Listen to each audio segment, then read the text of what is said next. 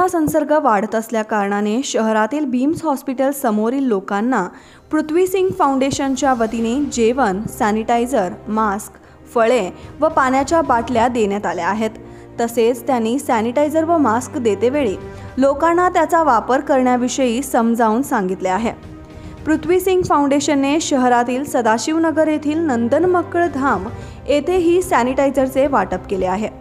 यावेळी पृथ्वी सिंग यांनी आपली प्रतिक्रिया व्यक्त केली आहे ಭಾರತರತ್ನ ಡಾಕ್ಟರ್ ಬಾಬಾ ಸಾಹೇಬ್ ಅಂಬೇಡ್ಕರ್ ಚರಣ್ ಸ್ಪಷ್ಟ ಮಾಡಿ ಅನ್ನ ಬಸವಣ್ಣ ಛತ್ರಪತಿ ಶಿವಾಜಿ ಮಹಾರಾಜ್ ಅವ್ರದ್ದು ಚರಣ್ ಸ್ಪಷ್ಟ ಮಾಡಿ ಇವತ್ತು ಒಂದು ಎರಡು ಮಾತನ್ನು ಹೇಳಲಿಕ್ಕೆ ಬಯಸ್ತೀನಿ ಹೋದ ವರ್ಷ Prithvi Singh foundation Covid warriors ಅಂತ ನಮ್ಮ ವಾಲಂಟಿಯರ್ಸ್ ಎಲ್ಲರೂ ಕೈ ಜೋಡಿಸಿ ಕೆಲಸನ ಪ್ರಾವನ್ ಚಾಲೂ ಮಾಡಿದ್ದು ಈ ವರ್ಷವೂ ಅದೇ ಥರ ಆಲ್ರೆಡಿ ಕೆಲಸ ಚಾಲೂ ಆಗಿದೆ.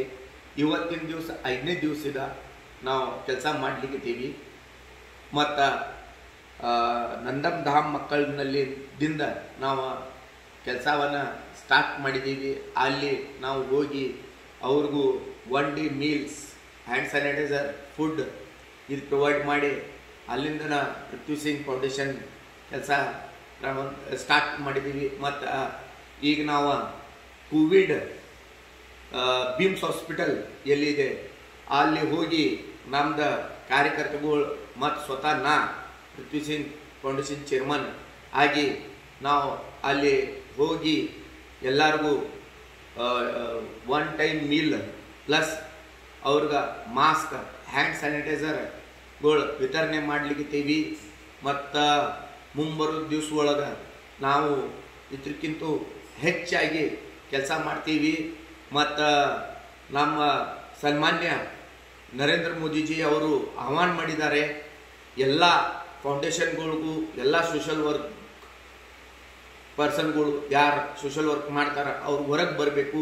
ಕೋವಿಡ್ ಈ ಪರಿಸ್ಥಿತಿನಲ್ಲಿ ಯಾ ಬಡು ಜನ ಅದಾರೆ ಮತ್ತು ಯಾರು ತಿನ್ಲಿಕ್ಕಿಲ್ಲ, ಅವ್ರಿಗೆ ಹೋಗಿ ಏನು ತಮ್ಮ ಕೈಲೇ ಸಾಧ್ಯ ಆಗ್ತೈತಿ, ಆದಷ್ಟು ನೀವು ಕೊಡ್ಬೇಕ? ಅಂತ ಹೇಳಿಕೆಸಿ ಪ್ರಧಾನಿ ಸನ್ಮಾನ್ಯ ನರೇಂದ್ರ ಮೋದಿಜಿ ಅವರು ಹೇಳಿದ್ದಾರೆ.